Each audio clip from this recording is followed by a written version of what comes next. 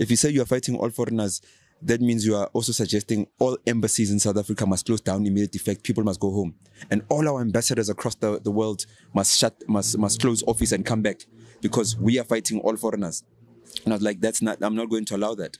And in, what's the people that are suffering the most happen to be African foreigners, by definition, because they are the closest to home. You don't find a Chinese guy chilling in Tembisa you find a Mozambican and you find Aotearoa Malawi, Tetswang Bozim, and so forth chilling there. So as soon as you introduce that culture and, and you condition our people to saying, to hell with foreigners, all of them, then you are saying that there must be a battle in our townships. There must be fights. There must we must kill each other. We must just talk nonsense about each other.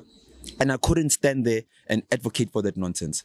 A lot of the people, even listening to, to this interview now, they've never heard me speak of foreigners must, all foreigners must go. I've always addressed undocumented foreigners.